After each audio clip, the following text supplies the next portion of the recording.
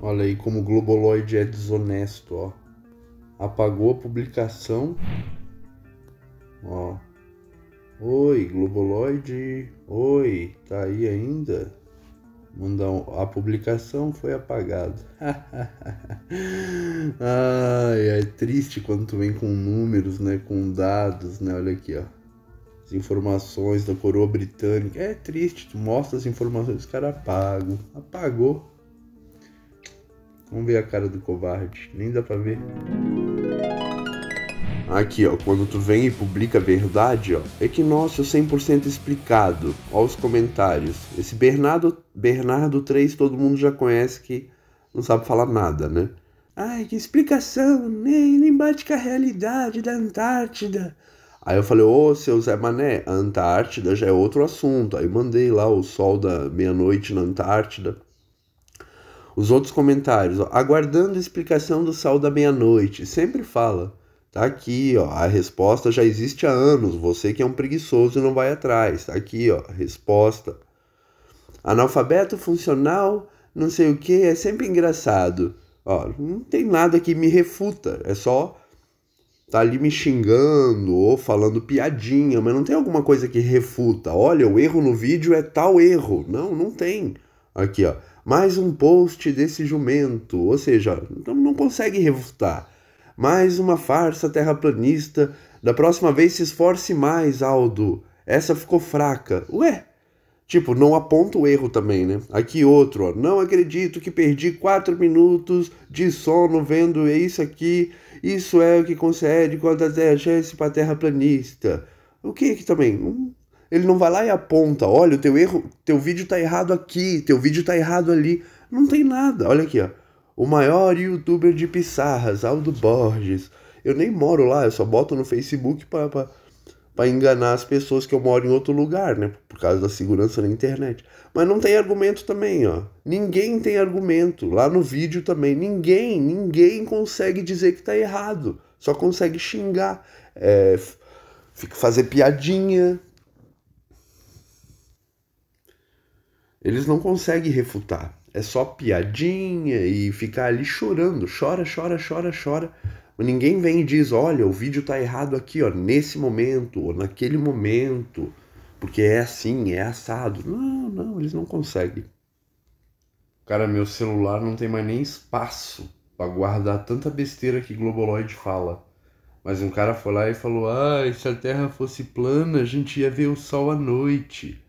Aí eu mostrei aqui, ó, para ele o sol à noite, né? Meu vídeo ali que o sol aparece à noite num balão na Espanha e que a gente não enxerga porque ele escapa, né, pelo ponto de fuga do observador, né? Coisa de quinta série, a gente já mostrou lá no início aqui da série, né? É coisa bem de iniciante no assunto mesmo, né? Aqui, por exemplo, a gente vê um exemplo bem típico que a gente viu lá no começo da série, né?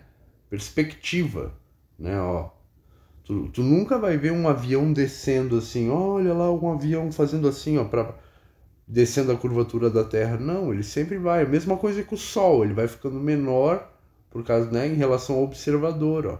Os postes, ó, não é um grandão, o outro pequenininho, não. Todos são do mesmo tamanho, vocês sabem disso, né? Então, é, é a perspectiva.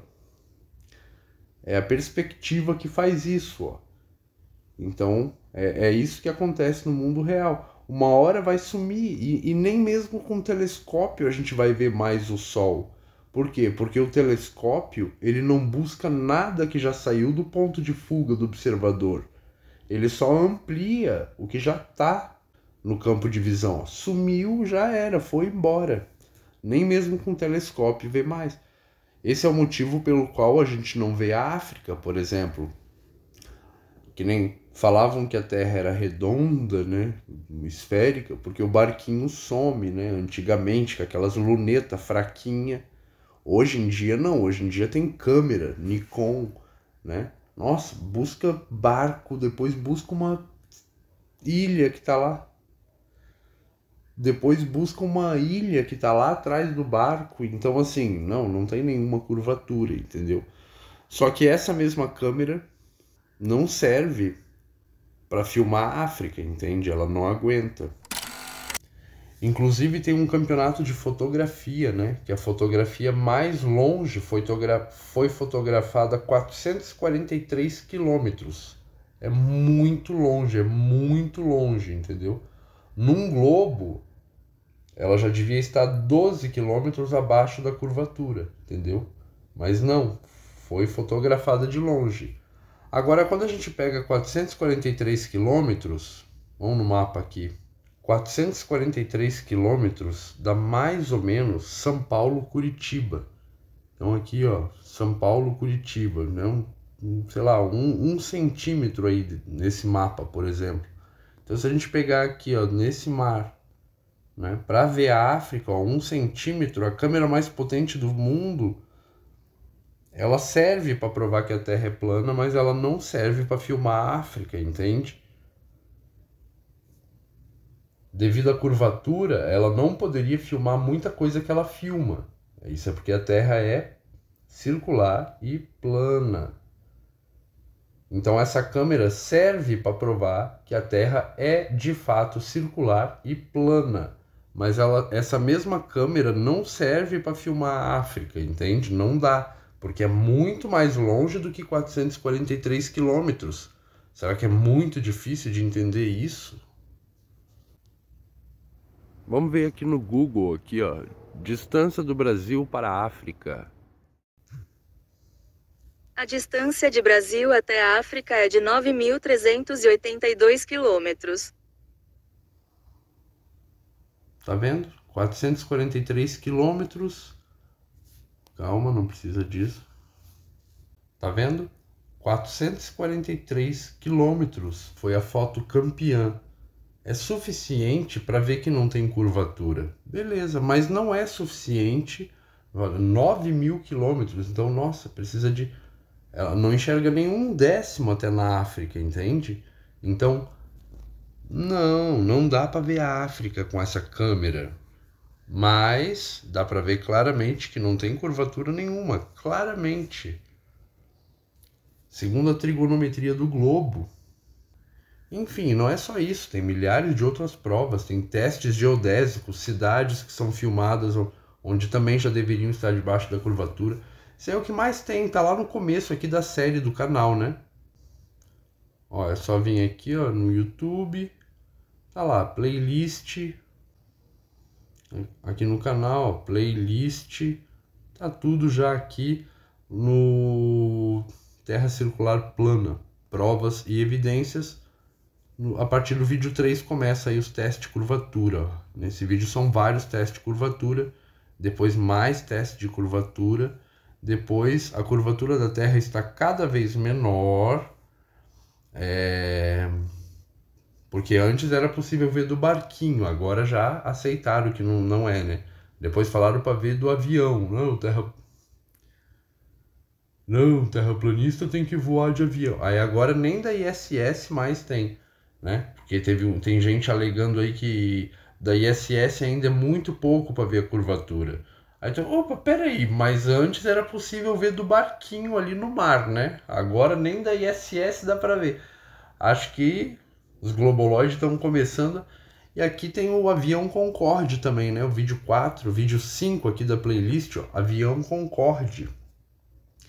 São horas e horas, tá? Procurando a curvatura, imagens raríssimas, ó, de daquela época, do avião que já não tem mais, né? Esse avião voava o dobro dos aviões normais de hoje, né? E o Concorde foi extinto, ó. Melhor deixar quieto esses aviões aí, hein? Então, ó, não tem mais Concorde não. Maior projeto da, da, da aviação, o ápice da aviação, né? é, de repente, opa, é melhor parar com ele. Hum.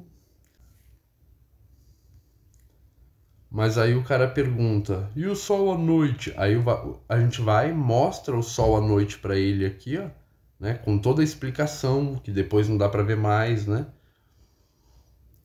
E ele fala assim, ó, olha a resposta do cara. E fico chorando, né? Não para ali os comentários. Se o sol sai do campo de visão, é, isso prova que a Terra é redonda.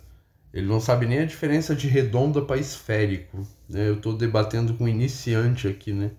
Aí o cara fala: o campo de visão é o céu. Com o telescópio dá para ver as estrelas e planetas super distantes. Ele bota super distante. É dá para ver a olho nu e é super distante, né? Dá para ver a lua em detalhes, blá blá blá. Se você diz que o sol sai do campo de visão, isso prova terra redonda, de novo, burro, velho. Assim fica fácil demais, vocês se refutam a si mesmos. Ele não sabe nem o modelo que ele está defendendo e diz que refuta a si mesmo. Olha a minha resposta aqui para ele, né?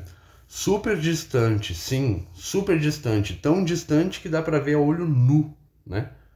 Porém, como estão acima de nós, essas estrelas não saíram pelo ponto de fuga da visão, que você não estudou nem a quinta série, né? Porque esse ponto de fuga da visão é quinta série, né, gente? Mas você preferiu falar mais besteira é...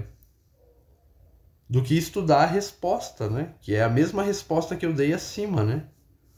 O Sol sai pelo ponto de fuga da visão do observador. Ele vai para longe e depois não é possível mesmo com telescópio ou com câmera, não vê mais, porque ele fugiu, né? Ele escapou pelo ponto de fuga da visão, entendeu? As estrelas, elas não escaparam pelo ponto de fuga da visão, elas estão acima de nós, dá para ver elas claramente, entendeu? Só que não adianta, Globoloid não entende. Nessa hora eles falam assim: Ai, se o sol some e a gente não vê mais, como é que a gente vê as estrelas que estão muito mais longe? O sol se afasta da gente por uma questão de perspectiva, a linha do horizonte. É simples demais.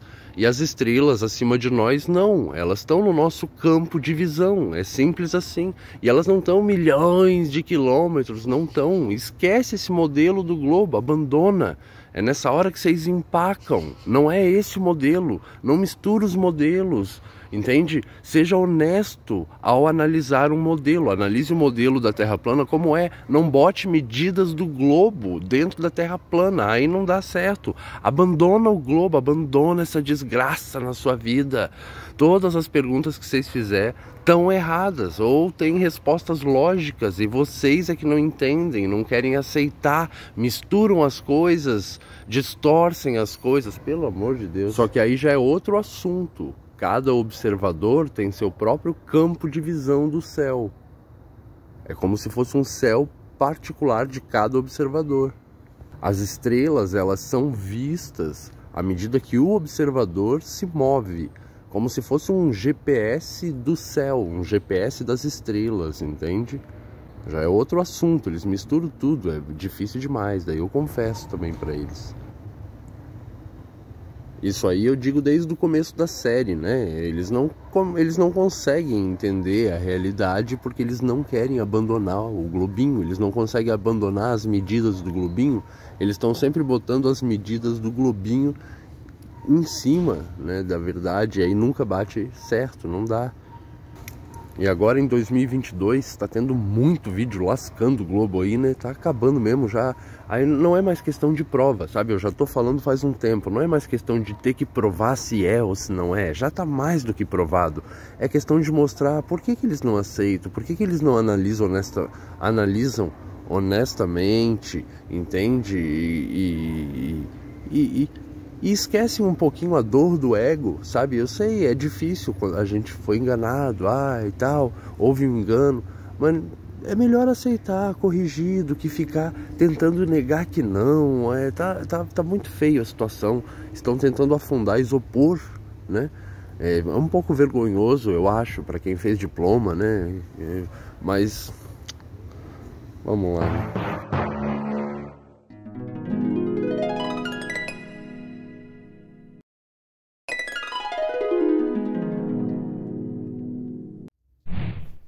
E não estão a milhões de quilômetros de distância, ano-luzes de distância, não, pô.